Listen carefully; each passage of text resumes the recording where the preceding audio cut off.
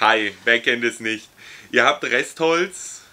Ja, das ist bei mir Restholz, weil ich nicht weiß, was ich daraus bauen soll. Also steht es in der Restholzkiste. Ich habe mir was richtig Cooles einfallen lassen, damit das Restholz endlich seine Verwendung findet. Los geht's.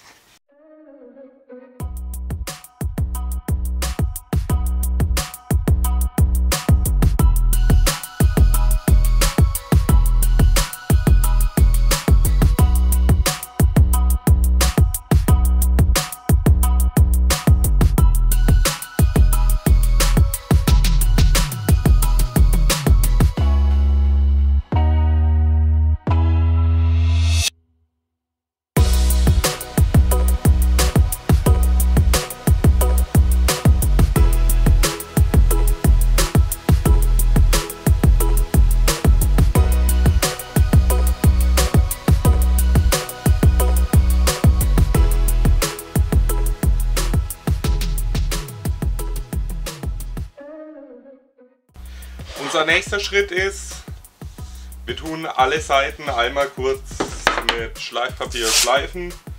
Ich mache das immer einfach mit dem Exzenterschleifer. Geht am schnellsten. Ich mache das kurz.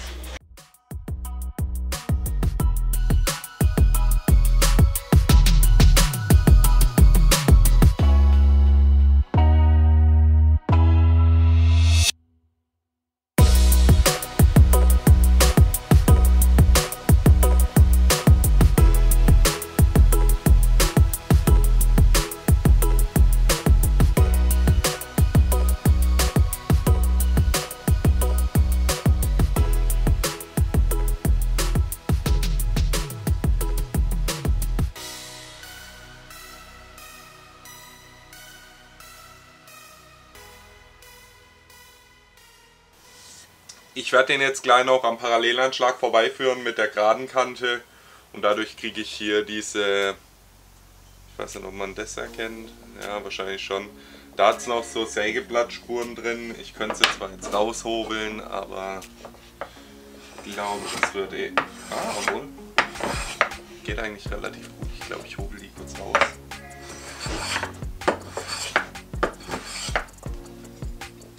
Wer sich übrigens fragt, was das für ein Hobel ist.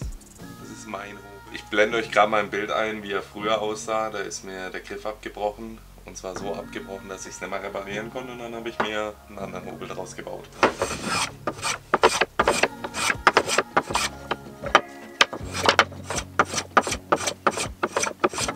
So, cool. Ja. Ich meine, das ist ein Handmade-Produkt. Ähm,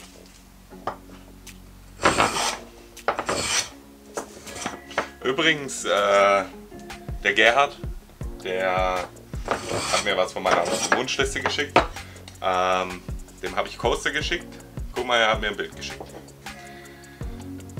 Wo ist der Fehler? Habt ihr ihn gefunden? Ich schon.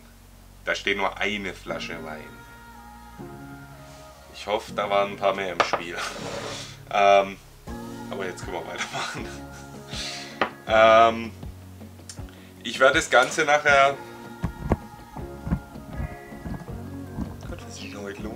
Ich werde das Ganze nachher mittig hier draufsetzen. Und dass ihr es wisst, ähm, ich habe da so ein tolles Handy. Äh, das kommt links, links hin und dann das Ladegerät für meine Uhr kommt rechts hin. Dazu schnappe ich mir jetzt einen Zollstock und schaut mal, ich schnapp mir jetzt einen Zollstock. Das Zollstock fressende Monster hat mir ein paar Zollstöcke gebracht. Ich nehme da draus. Entschuldigt bitte diese blöde äh, Position. Dass ihr es wisst, äh, meine Platte ist Pi mal Auge 24 cm breit. Ähm, die Hälfte von 24 sind 12. Ich kann rechnen. Ähm, schnappen wir uns jetzt gerade unseren Anschlagswinkel und zeichnen uns ganz vorsichtig eine Mittellinie. Drückt nicht so arg. Ähm, das Problem ist, Ihr kriegt die ähm, Mittellinie sonst nicht mehr rausgeschliffen. Darauf wird das Teil hier montiert. Ähm, genau. Ich schnapp mir jetzt das Ding und zeichne es kurz an.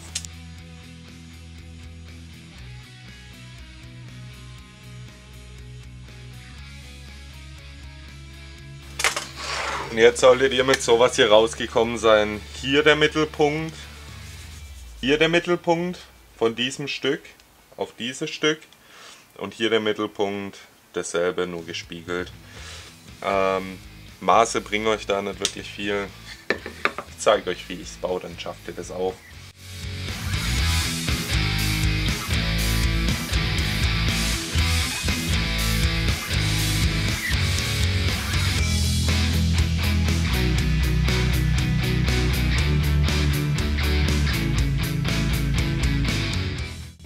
Jetzt schleife ich es noch kurz und dann zeige ich es euch.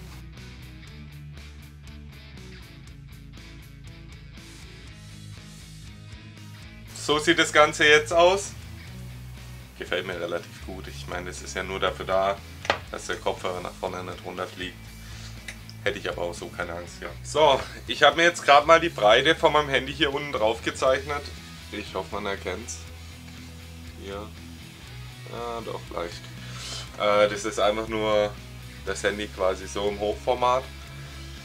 Das werde ich jetzt mit Stechbeitel und viel Manpower ausarbeiten.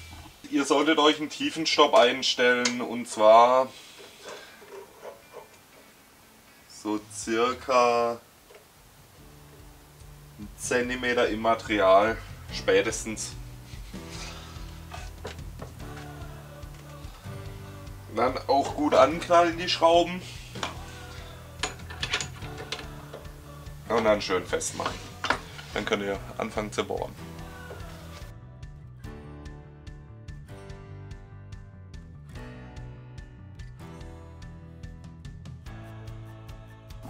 Kennt ihr das, dass es nach einem Projekt schon wieder aussieht, wie als hättet ihr, was weiß ich, einen atomaren Krieg gestartet?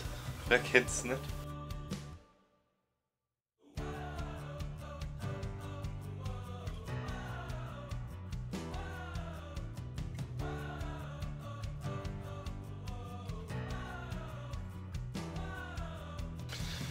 Ich habe bei mir das Loch leider etwas zu groß ausgearbeitet.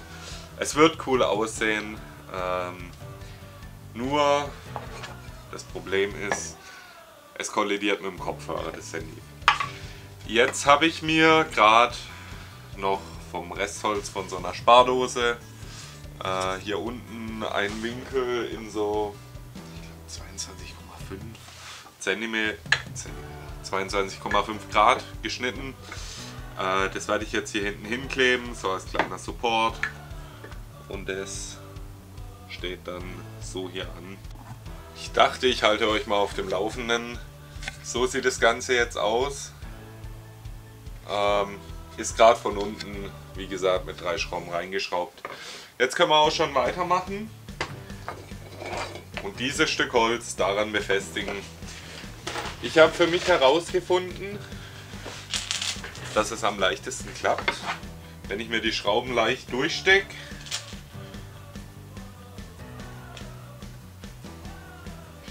Kurz.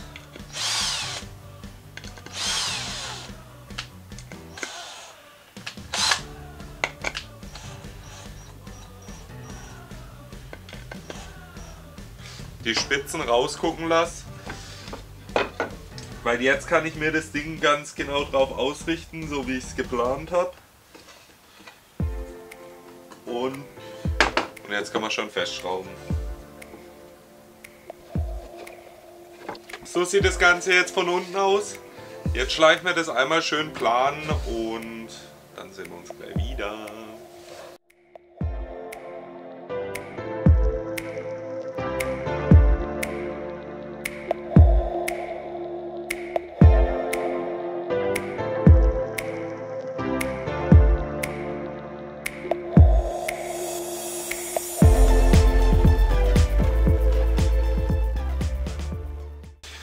Sieht das Ganze jetzt aus. Jetzt schnappen wir uns gerade ein bisschen Wachs und vielleicht Öl. Ich weiß es noch nicht. Aber das Bienenwachszeug da von Clue ist es, glaube ich. Das riecht ja bestialisch gut. Das, äh, ne, das ist es gar nicht. Das flüssige Bienenwachs von Clue, das riecht so geil, wirklich. Naja, ich mach das mal kurz. Ja, das Projekt ist jetzt getan. Ich würde sagen, ich blende euch jetzt ein paar Bilder ein. Dann sehen wir uns nächste Woche Sonntag um 19 Uhr und bis dahin haut rein.